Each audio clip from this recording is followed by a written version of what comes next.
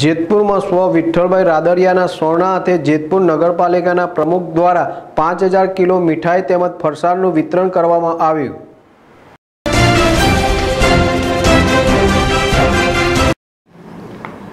જન્માષ્ટમીનો તહેવાર એટલે આનંદ અને ઉલ્લાસનો તહેવાર. કૃષ્ણ જન્મના આ દિવસે લોકો ખૂબ ઉત્સાહથી ઉજવતા હોય છે.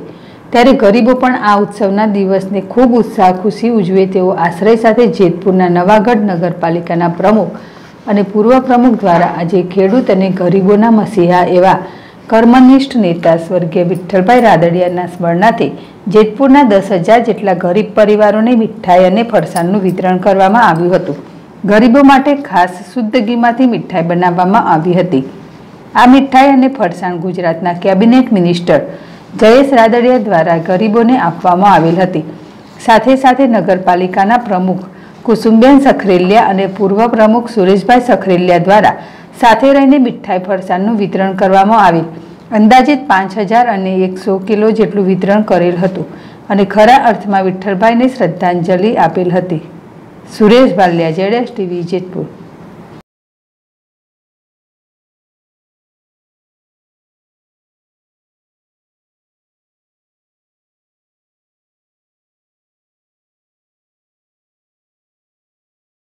ભાઈ આજે મીઠાઈ વિતરણ ચાલી શું કહેશો? આજના દિવસે જ ખાસ મીઠાઈ વિતરણ કરવા જેતપુર નગરપાલિકાના પ્રમુખ અમારા કુસુમબેન સખરેલિયા અને સુરેશભાઈ સખરેલિયા તરફથી આજે મારા પિતાશ્રી સ્વર્ગવાસ વિઠ્ઠલભાઈ રાદડિયાના સ્મરણાર્થે આજે વિનામૂલ્યે મીઠાઈ અને ફરસાણનું વિતરણ કરવામાં આવ્યું છે.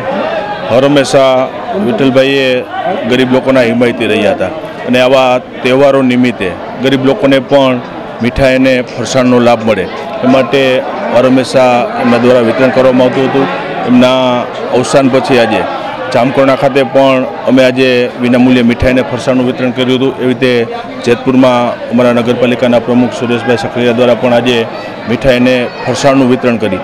અને એવા જરૂરિયાતમંદ અને ગરીબ લાભાર્થી પરિવારો કે જ્યારે જન્માષ્ટમીનો તહેવાર આવતો હોય ત્યારે એમને ઘરે પણ આનંદ એને એક મીઠાઈ ખરીદ ખરીદવાની શક્તિ ધરાવતા ન હોય પણ સૌ લોકોની સાથે આ જન્માષ્ટમીનો તહેવાર આજે રાંધણ છઠનો દિવસ એટલે સ્વાભાવિક રીતે દરેક ઘરની અંદર મીઠાઈને ફરસાણ બનતું હોય છે એટલે આવા ગરીબ પરિવારને લાભ મળે માટે આજે એમને ખરા અર્થમાં શ્રદ્ધાંજલિ આપવા માટે આજનો આ કાર્યક્રમ જેતપુર નગરપાલિકાના પ્રમુખ અમારા કુસુમબેન સખલિયા અને સખલિયા પરિવાર દ્વારા કરવામાં.